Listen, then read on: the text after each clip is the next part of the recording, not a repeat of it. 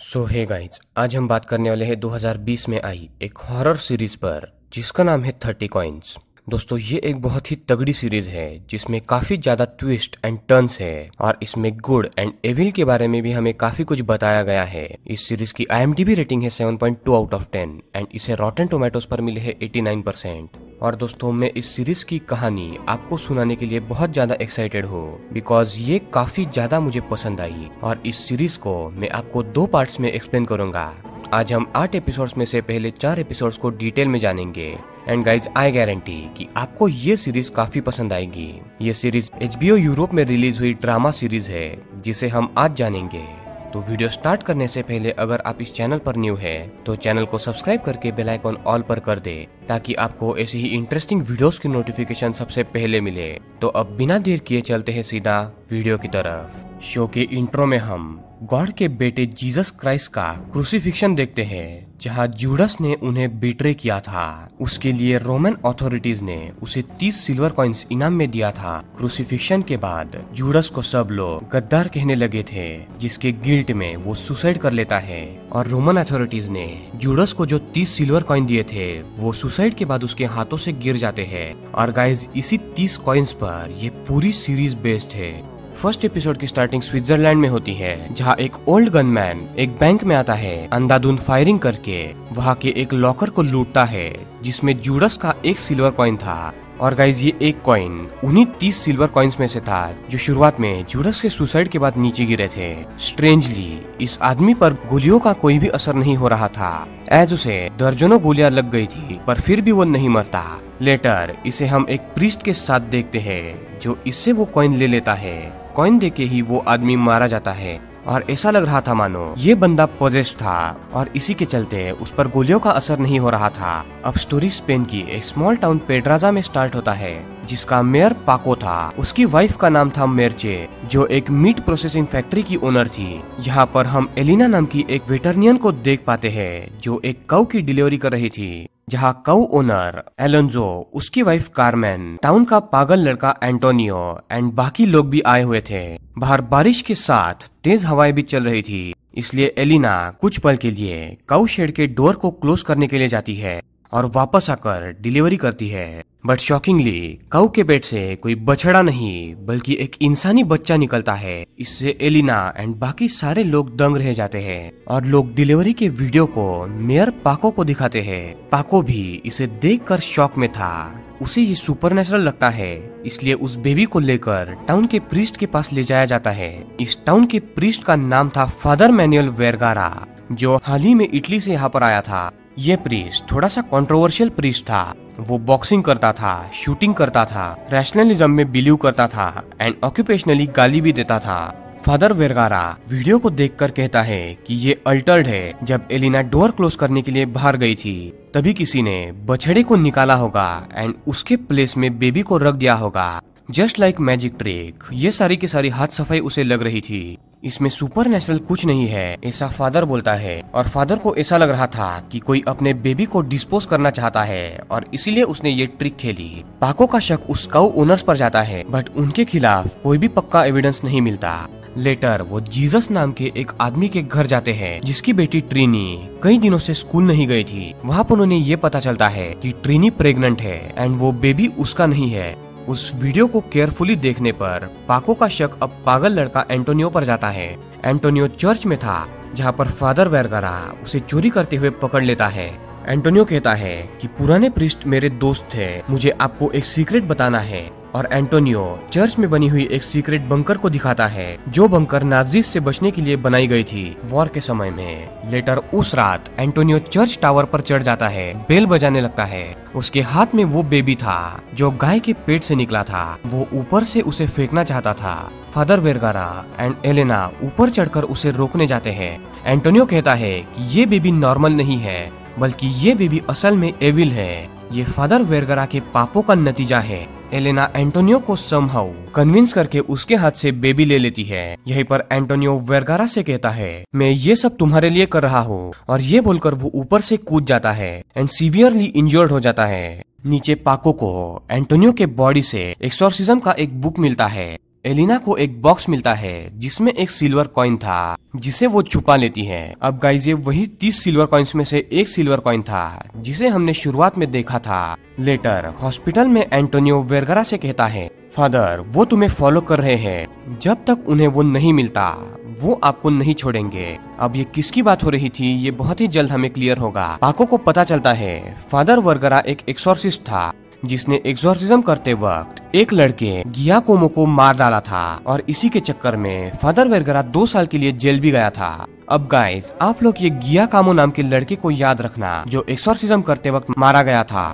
Elena, अब अपने पास के कॉइन को वेरगरा को दिखाकर पूछती है कि क्या ये कॉइन उसका है? वर्गरा उसे कहता है कि वो कॉइन एक्सोरसिज्म करते वक्त गिया कोमो नाम के लड़के के हाथ से निकला था। वो झूठ बोलता है कि इसका कोई भी इम्पोर्टेंस नहीं है। बट असल में ये कॉइन काफ़ी ज़्यादा खतरनाक एंड इम्पोर्टेंट था। वो एलिना को कॉइन वापस कर देता है। लेटर एलेना, एलेंजो के घर उस बेबी को देखने जाती है, जो स्ट्रेंजली बहुत बड़ा हो चुका था। और ये छोटा सा बच्चा एक दो दिन में ही आठ साल के बच्चे की तरह बड़ा हो गया था। एलेंजो को ये एबनॉर्मल लगता है।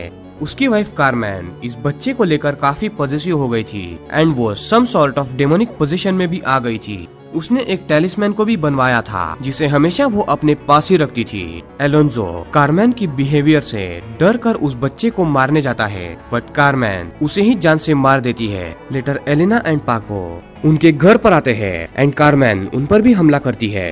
पाको को पकड़कर उसे उल्टा लटका दिया जाता है। Elena police and father Vergara को लेकर वापस वहाँ पर आती है, जहाँ कारमैन वर्गरा को देखकर कहती है, तुम हमसे नहीं बच सकते। हम लोग तुम्हारा पीछा नहीं छोड़ेंगे। तुम किसी भी टाउन में छुपो। हम तुम्हें वहाँ पर ढूंढ लेंगे। क्लियरली यहाँ पर कारमैन पोजेस्ट थी। वो सब पर हमला करने लगती है। पुलिस ऑफिसर पैनिक में उस पर गोली चलाकर उसे जान से मार देता है। एंबुलेंस में पाको को रख दिया जाता है, जो काफ़ी ज़्यादा जख्मी था। एंड उसी के साथ में उसी एंबुलेंस में कार्मेन की लाश भी रखी हुई थी। फादर वर्गरा एंड एलिना उस बच्चे के रूम में जाते हैं, जहाँ सिर्फ़ उस बच्चे की स्किन पड़ी हुई थी। वो बच्चा सीलिंग फाड़कर वहाँ से भाग चुका था। एलिना को कुछ समझ नहीं आता कि आखिर में ये सब क्या हो रहा है। एंबुलेंस में कारमैन जो मर चुकी थी, वो अचानक से ज़िंदा हो जाती है। वो पाको की वाइफ मर्चे एंड पाको पर हमला करने लगती है। और जब एंबुलेंस रास्ते से जा रही थी, अचानक से एंबुलेंस पर एक सिक्स लेग वाला बड़ा सा क्रिएचर हमला करता है, जो काइंड ऑफ़ स्पाइडर की तरह लग रहा था। और इस हमले के चलते एंबुलेंस का एक्सीडेंट होता है। और कारमैन इस क्रिएचर को देखकर बोलती है कि मेरा बेटा मुझे लेने के लिए वापस आया है। और वो वहाँ से उस क्रिएचर के साथ चली जाती है। उधर चर्च में फादर वेरगरा अपने वेपन वॉल्ट में से कुछ बुलेट्स को निकालता है। तभी कार्मन वहाँ पर आकर उससे वो कॉइन मांगने लगती है। जब उसे ये पता चलता है कि कॉइन एलेना के पास है तो वो एलेना पर हमला करती है, क्योंकि एलेना वहीं पर सीक्रेट बंकर में फादर वर्गरा के साथ छुपी हुई थी। वेरगरा होली वाटर में बुलेट्स को डुबोकर प्रे करते हुए सारी की सारी बुलेट्स को कार्मेन पर चला देता है, जिसके चलते इस बार फाइनली होली वाटर में बुलेट्स डुबोने के चलते कार्मेन फाइनली मारी जाती है। जैसे ही वर्गेरा बॉडी को लेकर वहाँ से जाने लगता है, तभी वो जो क्रिएचर यानी कि कार्मेन का बेटा था। वो क्रिएचर वहाँ पर आता है। एलेना पर हमला करके वो उससे वो कॉइन छीनने लगता है। बट तभी पाको एलेना को कॉल करके बताता है कि कार्मेन की जो टेलिस्मैन यानी कि वो छोटी सी जो डॉल थी, उसे तुम डिस्ट्रॉय करो। एज उस क्रिएचर की जान उसी डॉल में थी। जैसे ही एलिना उस टेलिस्मैन को तोड़ने लगती है, वो क्रिएचर वहाँ से भाग जाता है। एंड फाइनली एलिना उस डॉल को पूरी तरीके से तबाह कर देती है। इस सबसे एलिना सदमे में थी। और एलिना ये सारी की सारी बातें फादर वर्गेरा को बताती है बट वो उसकी बात नहीं मानता। वो उससे कॉइन वापस माँगता है बट एलिना उसे वो वापस नहीं करती एज वो ये जान चुकी थी कि ये जो कॉइन है, वो कोई नॉर्मल कॉइन नहीं है। वो इस कॉइन की डीप स्टडी करना चाहती थी, और इसी के साथ एपिसोड वन यहाँ पर एंड होता है। तो बेसिकली फादर वगैरह को एक्सोर्सिज्म करते टाइम एक कॉइन मिलता है। जिसे गिया कामो नाम के एक लड़के ने हिल से चुराया था। और गाइस एक पावरफुल कल्ट था, जो सभी के सभी तीस कॉइन्स को कलेक्ट कर रहा था किसी मकसद के चलते। और इस कल्ट के पास पहले से ही कुछ कॉइन्स पड़े हुए थे। और ये कॉइन पावरफुल मैजिकल ऑब्जेक्ट्स थे, जिसके चलते spell casting mind control reality bending जैसे सुपरनेचुरल एबिलिटीज मिलती थी। यही कल्ट फादर वर्गरा को डरा रहा था। और इसी कल्ट ने शुरुआत में गाय के पेट से उस बच्चे को जन्म दिया, ताकि वो कारमैन एंड इस बच्चे के, यानी कि क्रिएचर के मदद से फादर वेरगरा को डरा कर वो कॉइन उससे पा ले बट उनका ये प्लान इस तरीके से फेल हो गया। अब गाइज़ इन्हें ये पूरे तीस कॉइन क्यों चाहिए थे? ये इसका मकसद हमें बहुत जल्द पता चलने वाला है। एपिसोड टू की शुरुआत एक महीने बाद होती है, जहाँ एलिना रॉकवे नाम के एक रेस कोर्स ओनर के लिए काम कर रही थी। ये टाउन का सबसे अमीर बंदा था और एलिना उसके घोड़ों की डॉक्टर थी। और यहाँ पर हमें ये पता चलता है कि एलिने का हस्बैंड था जो दो साल पहले अपने आप मिसिंग हो चुका था, जिसके बारे में किसी को भी कुछ नहीं पता था। एक रात टाउन के किड्स चिल करने के लिए ओइजा बोर्ड गेम खेलने लगते हैं। और गाइज़ आप सभी को पता ही होगा ओइजा एक प्रकार का स्पिरिट बेस्ड बोर्ड गेम है, जहाँ घोष्ट से डायरेक्टली कम्युनिकेशन किया जाता है। इन बच्चों के गेम में गिया कामो नाम का घोष्ट आता है, जो इटली से था। और गाइज़ आप लोगों को गिया कामो याद ही होगा। जी हाँ गाइज़ वही जिसके हाथ से वो कॉइन निकला था। इस गेम को खेलते दौरान अचानक से सब कुछ ब्लैकआउट हो जाता है और इन सब दोस्तों में से एक दोस्त सोले गायब हो जाती है।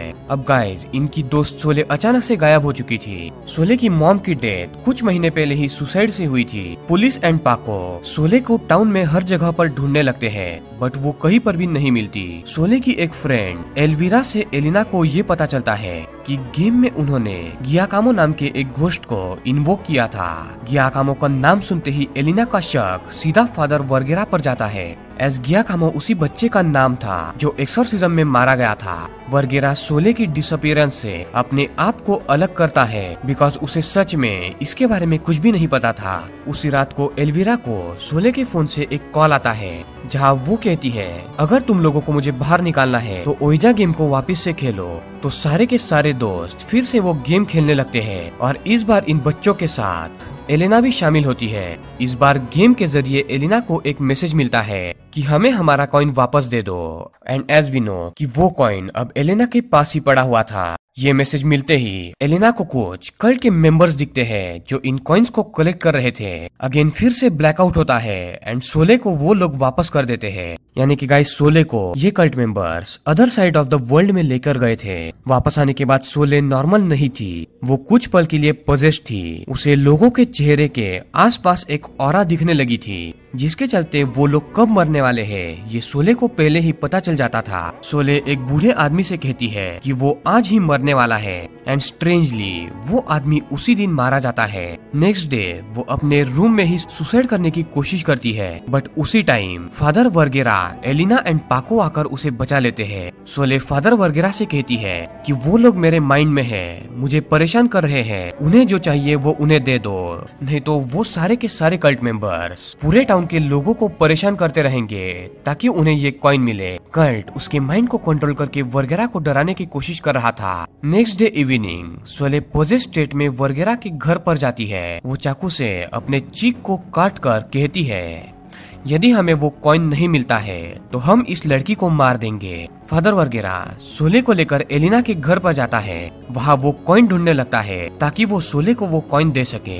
तब एलिना घर पर नहीं थी। कुछ ही देर में एलिना रॉकवे के साथ अपने घर पर आती है। तो वो देखती है कि सोले की चीख जो है वो कटे हुए है और सोले को इसका रीजन पूछने पर वो बोलती है कि उसका ये हाल फादर वर्गेरा ने किया है। रॉकवे सोले की हालत को देखकर वर्गेरा पर हमला करने जाता है। बट सोले उस पर ही चाकू से वार करती है। क्लियरली सोले पोजीशन में थी। कल्ट उसके ज़रिए एलिना के घर को हवा में उड़ाने लगता है। फादर वर्गेरा को ये बात समझ आ जाती है। एंड वो सोले को शांत करने लगता है। वो काफ़ी प्रेयर्स करता है। फाइनली सोले शांत होती है। अपने पोजीशन से बाहर आती है। एलिना रॉकवे को हॉस्पिटल में एडमिट करवाती है, क्योंकि वो काफ़ी ज़्यादा जख्मी था। यहाँ पर एपिसोड टू एंड होता है। और गैस यहाँ पर क्लियरली कुछ एविल लोग थे, जो कल्ट के मेंबर्स थे, जिन्हें ये कॉइन चाहिए था। वो टाउन के मासूम लोगों को परेशान करके वर्गेरा एंड एलिना से कॉइन लेना चाहते थे। और गाइज़ मैं आपको पहले ही बता दूँ कि शुरुआत में हमने एक ओल्ड मैन का सीन देखा था, जहाँ उसने एक लॉकर लूटा था। और गाइज़ उस लॉकर में भी एक कॉइन था। तो इस बात से तो हमें ये बात क्लियर होती है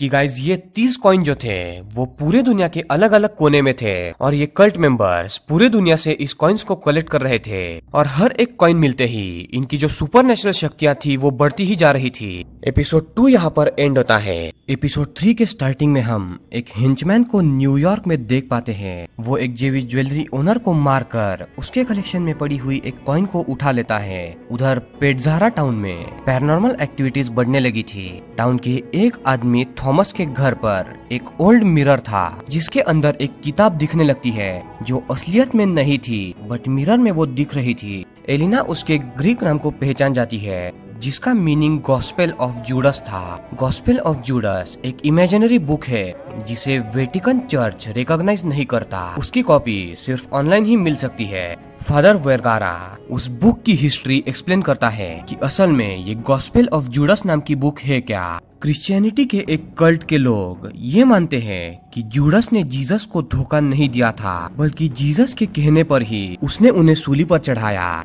उसके धोखे से ही जीसस सूली पर चढ़े एंड लेटर तीन दिन बाद उनका पुनर्जन्म हुआ। गॉड ऑल पावर है, इसलिए गॉड को धोखा देना नामुमकिन है। ऐसा इस कल्ट का कहना था और ऐसा ही इस बुक में भी लिखा हुआ था। और गॉड ने ही जूडस को ऐसा करने के लिए कहा ताकि लोगों का, उन पर और भी ज़्यादा विश्वास हो। बट वेटिकन चर्च इस लॉजिक को नहीं मानता था और इसीलिए जूडस आज भी बदनाम है, ऐसा इस बुक में लिखा था। वो कल्ट जो इस लॉजिक को मानते हैं, उस कल्ट का नाम है ऑर्डर ऑफ़ काइंटेस यानी कि गाइस हमें यहाँ पर ये पता चलता है कि इस कल्ट को ऑर्डर ऑफ़ काइनिटिस बुलाते हैं। लेटर वर्गरा उस मिरर को चेक करने जाता है। पूरी रात वो उसी मिरर के सामने बैठा रहता है। पाको ने वहाँ पर सीसीटीवी लगवाया था। जिसके एक वीडियो फ्रेम में हम दूसरे फादर वर्गरा को भी देख पाते हैं। ऑर्डर ऑफ़ काइनेटीज डेविल के साथ थे और वो लोग डेविल को इविल नहीं मानते थे। उनकी पावर बढ़ गई थी और वो लोग अब किसी को भी ज़िंदा कर सकते थे। इस मिरर को उन्होंने एक पोर्टल में कन्वर्ट कर दिया था। वो लोग अब फादर वर्गेरा को किडनैप करके उसके प्लेस पर एक फेक वर्गेरा को रियल वर्ल्ड में डाल देते हैं और इस पूरे स्विचिंग के टाइम में सीसीटीवी ऑफ़ कर दिया जाता है। इसलिए पाको एंड एलिना इस फेक वर्गेरा को पहचान नहीं पाते। लेटर ये fake Vergara order of Kinetics के बारे में पाको एंड एलिना को और भी डिटेल में एक्सप्लेन करता है। वर्ल्ड में गरीबी, भूखमरी डिज़ीज़ वॉर एट्रोसिटीज जैसे सब इविल है, जिसे गॉड कभी नहीं रोकता। मतलब बुरे लोग या एविल भी गॉड के ही डिवाइन प्लान का हिस्सा है। ऐसा ये फेक वगैरह बोलता है। सिंपल लैंग्वेज में कहे तो मान लीजिए ये वर्ल्ड एक मूवी है, जिसमें हीरो होता है विलन भी होता है सपोर्टिंग कैरेक्टर्स भी होते हैं। इन सबको राइटर ने लिखा है और डायरेक्टर ने डायरेक्ट किया है। ऐसे ही गॉड एक सुप्रीम राइटर डायरेक्टर है, जिसने गुड एंड एविल को बनाया है और वही इनके एक्शन को डायरेक्ट कर रहा है। यानी कि गाय ये जो फेक वगैरह था, इसने आते ही पूरी तरीके से माइंड को डाइवर्ट करना स्टार्ट कर दिया था। काइनेटीज दुनिया में एविल को बढ़ाना चाहते थे। और उन्हें लगता था कि वो भगवान के काम में साथ दे रहे हैं। और उन्हें ये भी लगता था कि उन्हें भी गॉड ने ही बनाया है। वो भी एक विलन के रूप में। गॉड सिर्फ़ गुड नहीं है, बल्कि गॉड एक एविल भी है, ऐसा इन्हें लगता था।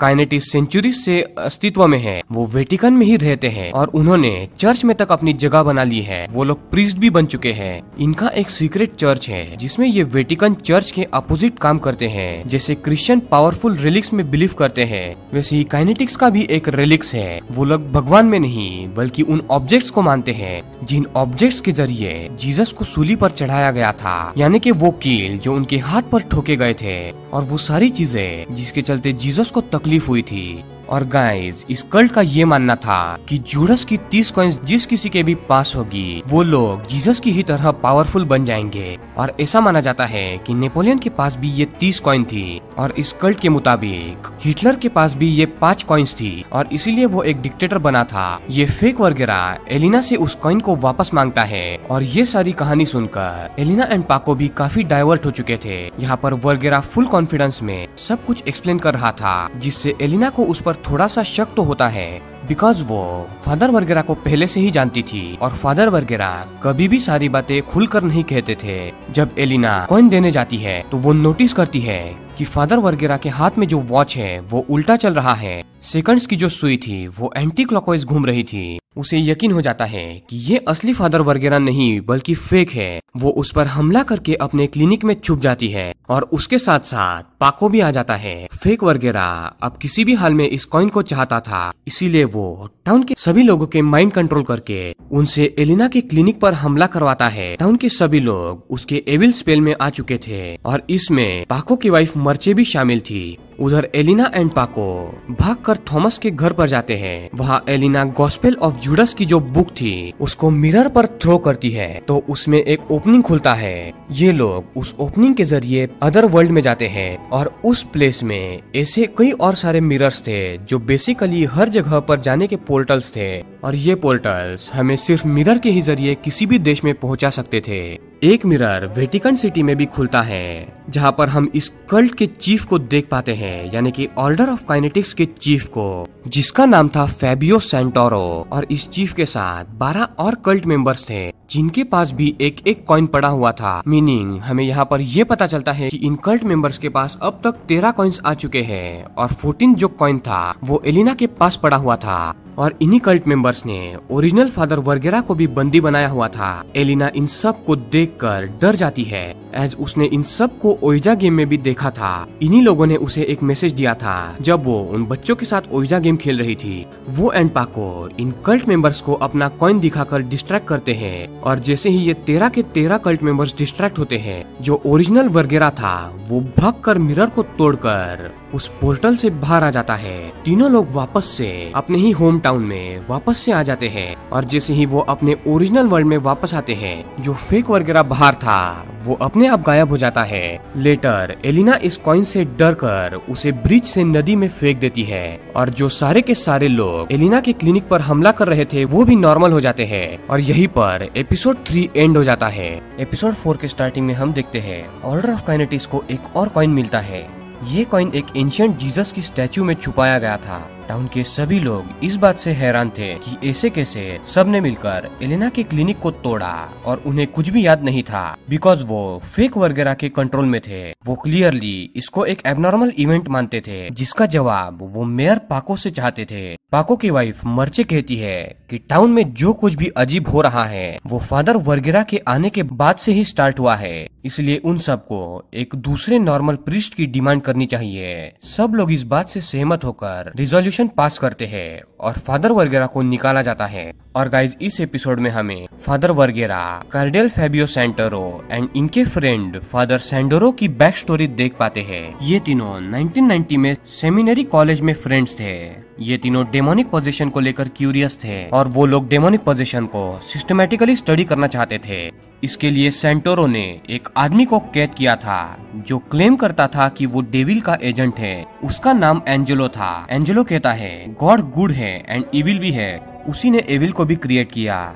डेविल एंड उसके एंजल्स को हेवन में एविल फैलाने का काम दिया गया था। But over the time good and evil angels में लड़ाई होने लगी। डेविल हार गया एंड गॉड की ही एक क्रिएशन हेल में अपने बाकी फॉलन एंजल्स के साथ आकर छुप गई। सदियों से डेविल वर्ल्ड में एविल को स्प्रेड करता आ रहा है, क्योंकि गॉड ने ही उसे इस काम के लिए बनाया था। बट वेटिकन चर्च इस थियोरी को एक्सेप्ट नहीं करता। ऐसा इस एजेंट का कहना था। सैंडरो को इस आदमी की बातें फेक लगती है, इसलिए उसे प्रूफ दिखाने के लिए वो एंजेलो के मूछ पर आग लगा देता है और कुछ ही सेकंड्स में उसके पूरे शरीर में आग लग जाती है और वो इसके गाल से लेकर आधा शरीर जला देती है। एंजेलो कहता है यदि कोई गॉड की सच्चाई जानना चाहता है तो उन्हें पहले डेविल को ज्वाइन करना होगा। वो हेल की एक डोर को ओपन करता है। फेबियो सेंटोरो को ये लॉजिक ठीक लगता है और इसीलिए वो पहली बार ऑर्डर ऑफ़ काइनेटिक्स को उसी समय ज्वाइन कर लेता है। बेसिकली इस ऑर्गेनाइजेशन का मोटो था वेटिकन चर्च को उखाड़ फेंकना और उसके जगह एक ऐसी चर्च को एस्टेब्लिश करना, जहाँ डेविल की भी इज़्ज़त हो। इसे पूरा करने के लिए ये तीस कॉइन ज़रूरी थे जिससे पूरे वर्ल्ड के लोगों का माइंड कंट्रोल किया जा सकता था। यहाँ डेविल के डीमंस भी कल्ट की मदद कर रहे थे।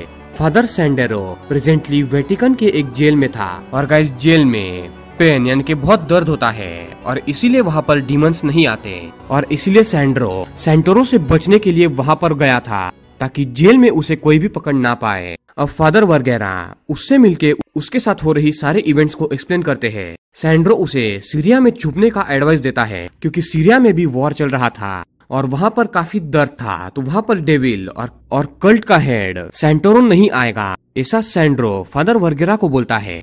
लेटर वर्गेरा। दुनिया के सारे चर्च के हेड से मिलता है, जो सबसे हेड फादर था। और वर्गेरा उन्हें काइनेटिक्स के बारे में एक्सप्लेन करता है और सारी चीज़ें बताता है कि उसके साथ क्या क्या हुआ। तो वहाँ पर चर्च हेड बोलते हैं कि तुम अभी कुछ भी मत करो और जो कुछ भी हुआ उसके बारे में किसी को भी कुछ भी मत बताना। हम इसके बारे में थोड़ी सी और डिटेल में जानकारी निकालेंगे। और ये सारी की सारी जानकारी तुम मेरे एक असिस्टेंट को बताना, जो मेरा सबसे करीबी असिस्टेंट है। तो जो हेड फादर चर्च थे, वो अपने असिस्टेंट को बुलाते हैं और फादर वगैरह इस असिस्टेंट को देखकर काफ़ी शॉक हो जाता है और डर जाता है। बिकॉज़ गाइज़ चर्च हेड का असिस्टेंट कोई और नहीं। उस कल्ट का हेड सेंटेरो था। जी हाँ गाइज़ यानी कि हमें यहाँ पर ये पता चलता है कि काइनेटिक्स के जो लोग थे, वो चर्च में भी पहुँच चुके थे और वो काफ़ी ऊँची पोजीशन में भी पहुँच चुके थे। जो सीधे चर्च हेड के अंडर काम करते थे और उनके बारे में किसी को भी कुछ पता नहीं था। यहाँ तक कि हेड चर्च को भी। ये लगता था कि उसका असिस्टेंट काफ़ी अच्छा है, बट उसे ये नहीं पता था कि ये असल में काइनेटिक्स कल्ट का हेड है। इधर टाउन हॉल में काइनेटिक्स की एक विच एक स्केयरक्रो पर विचक्राफ्ट करके उसे ज़िंदा करती है। एलेना जो है, वो अभी सबसे तंग आ चुकी थी, इसलिए वो अपने बॉस रोके के साथ इस टाउन को छोड़कर जा रही थी। तभी पाको अपने साथी के साथ एयरपोर्ट पर आता है और उसे कहता है कि तुम्हारा हस्बैंड वापस आ चुका है और इसी के साथ एपिसोड फोर यहाँ पर एंड हो जाता है। तो गाइज़ जैसा कि आपको मैंने पहले भी बताया कि एलिना का जो पति था, वो दो साल पहले अपने आप गायब हो चुका था। और अभी एक विच ने स्केयरक्रो पर विचक्राफ्ट किया, जिसके चलते एक आदमी ज़िंदा हुआ, जिसकी शक्ल एलिना के पति से मिलती थी। तो अभी आने वाले एपिसोड्स में बहुत कुछ होने वाला है, और इसी के साथ एपिसोड फोर यहाँ पर एंड होता है। नेक्स्ट वीडियो में बाकी चार एपिसोड्स को मैं एक्सप्लेन करूँगा। ये सीरीज़ काफ़ी लंबी है। ईच एपिसोड वन आवर से भी ज़्यादा लॉन्ग है। इस सीरीज़ में हम religion faith myths and reality के मिक्सचर को काफ़ी अच्छी तरीके से देख पाते हैं, और इसी के बेस्ट पर ये पूरा शो बनाया गया है। तो दोस्तों, ये थी थर्टी कॉइन्स के पहले चार एपिसोड्स की कहानी। इसमें हमने देखा कि कैसे फादर वर्गेरा, एलेना एंड पाको एक जूडस के कॉइन को छुपा के रखते हैं ताकि वो कॉइन इस कल्ट के हाथों में ना लगे, जो कल्ट बुराई के राज को इन तीस कॉइन को इकट्ठा करके लाना चाहता था। इस सीरीज़ में हमें उस कल्ट की पावर दिखाई गई है, जो उनके पास तेरह कॉइन्स जो थे, उसके चलते आई थी। और आगे भी वो दो तीन कॉइन्स और भी चुरा कर कलेक्ट कर लेते हैं। अब भी उन्हें उस कॉइन की तलाश थी जो एलिना ने पानी में फेंक दिया था। अल्सो हमने ये भी देखा कि काइनेटिक्स कल्ट का जो हेड था, उसने वेटिकन चर्च में हेड पॉप फादर के खास आदमी की उपाधि पा ली थी, जिसके चलते वो ये बुरे काम, अच्छाई के आड़ में रहकर कर रहा था। फोर्थ एपिसोड के एंड में फादर वगैरह को ये बात पता चल जाती है। और अब आगे क्या क्या होता है, ये आने वाले चार एपिसोड में देखने में काफ़ी मज़ा आएगा। तो दोस्तों, मेरी आपसे गुजारिश है की आप लोग इस वीडियो को ज़्यादा ऐसी ज़्यादा शेयर करें। एंड चैनल को सब्सक्राइब करके बेल आइकॉन ऑल पर कर दे, ताकि आपको thirty coins part two video की नोटिफिकेशन सबसे पहले मिले। और अगर आपको पार्ट टू जल्दी से जल्दी चाहिए तो नीचे एक कमेंट ज़रूर करें। तो दोस्तों, मिलते हैं अगली पार्ट टू वीडियो में। तब तक के लिए पीस आउट